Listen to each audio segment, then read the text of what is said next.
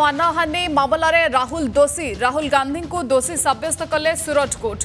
मोदी संज्ञा को नहीं बदय बृत्ति राहुल गांधी एवं दुईहजार उन्नीस निर्वाचन बेले आपत्तिजनक बृत्ति रखी थे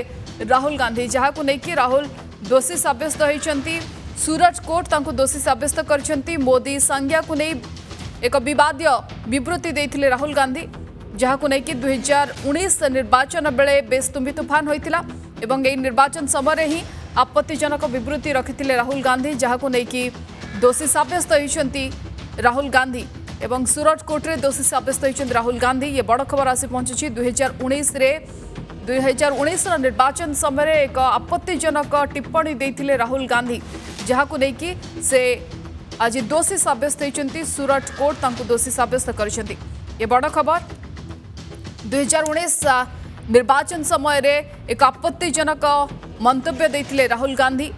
मोदी संज्ञा को नहीं जहाक नहीं आज दोषी सब्यस्त होती राहुल गांधी ये दुई हजार उन्नीस मामला जहाक नहीं कि मंतव्य को लेकिन बेस तुम्बित फान से समय वर्तमान दोषी सब्यस्त हो Rahul Gandhi is a member of parliament और वो संसद में और राज्यसभा में इस देश के कानून बनते हैं तो अगर जो लोग कानून बनाते हैं वो लोग कानून तोड़ेंगे तो देश में समाज में इसका क्या मैसेज जाएगा तो उन्होंने ये कहा प्रोसिक्यूशन के वकील ने कि हो सके उतनी जितनी मैक्सिमम है है हाँ, वो मैक्सिमम सजा इन्हें दी जाए और जो भी मैक्सिमम फाइन है वो भी उन्हें किया, फाइन दिया किया जाए और जो कम्प्लेन है उसे भी कम्पनसेशन मिला आ, मिलना चाहिए ये आज ही होने वाला है दोनों पक्षों की दलीलें अभी खत्म हो गई है तो उसके बाद अभी कुछ ही देर में I think honourable cut option option आगे हाँ, हाँ दो साल की मैक्सिमम सजा का प्रावधान है ऑप्शन अभी if they wanted to go for appeal अभी अपील के वक्त तक के उन, उन, उनसे जमानत ली जाएगी फिर ऑनरेबल सेशन कोर्ट में वो अपील का एक चांस बनता है राहुल गांधी के पास हाँ, एक ऑप्शन है अधिक आलोचना करने आम सहित जोड़ी वरिष्ठ सांबादिक प्रदोष पट्टनायक श्री पट्टनायक स्वागत करुच्छ आपको दुईहजार उन्नीस राहुल गांधी देता एक मंतव्य को लेकिन से दोषी सब्यस्त होती सुरट कोर्ट तक दोषी सब्यस्त कर खूब शीघ्र सजा भी शुणाई पारती कोर्ट एक आसूची या कमी देखुंट ଦେଖନ୍ତୁ ଆଉ କିଛି ସମୟ ପରେ ମଧ୍ୟ ଦଣ୍ଡ ବିଧାନ ଘୋଷଣା କରାଯିବ ତେବେ ଗୋଟିଏ କଥା କ'ଣ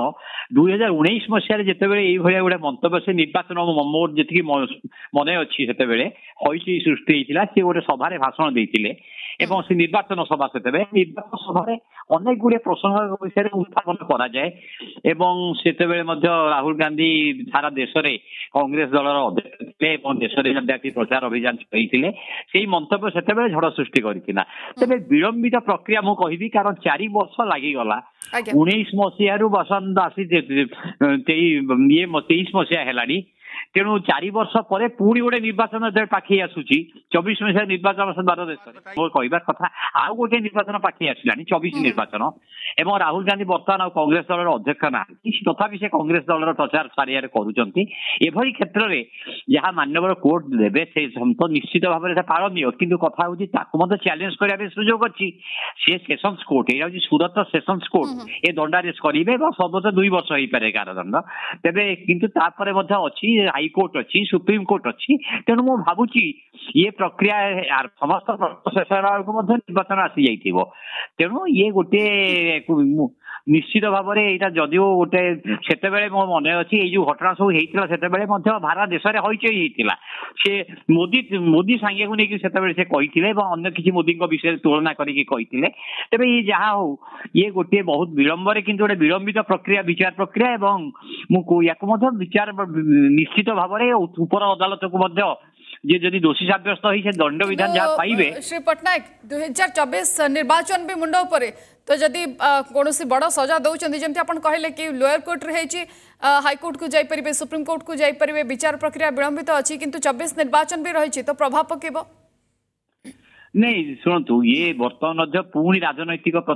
প্রচার অভিযান বর্তমান খুব আরম্ভ হয়ে ହେଇଗଲାଣି যেহেতু নির্বাচন পাখি ଆସିଲାଣି এবে ମଧ୍ୟ বিভিন্ন সভা ସମିତିରେ ମଧ୍ୟ ପ୍ରତ୍ୟେକ ଦଳ ନେତା ପରସ୍ପରକୁ